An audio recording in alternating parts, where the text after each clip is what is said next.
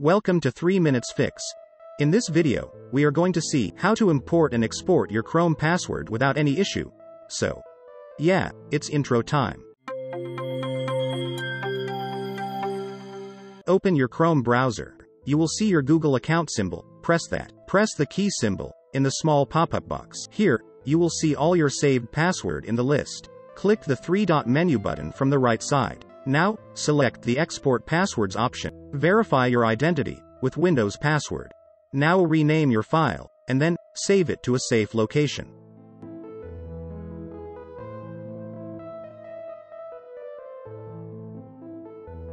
Do remember, your password will be in plain text, so never upload or share it with anyone. For any silly or serious reasons, I or Chrome will not be responsible for any loss, other than asking you to change the password. Now, we are going to upload the password back into Chrome, so I am cleaning the existing password list.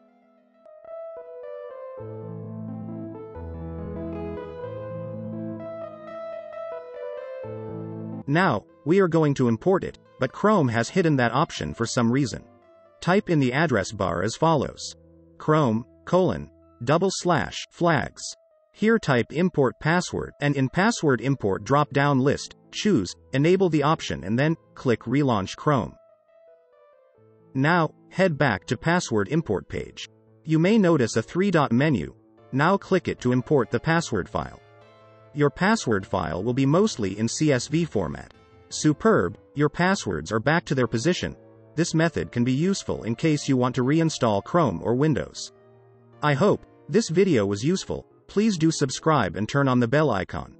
Thank you so much for watching.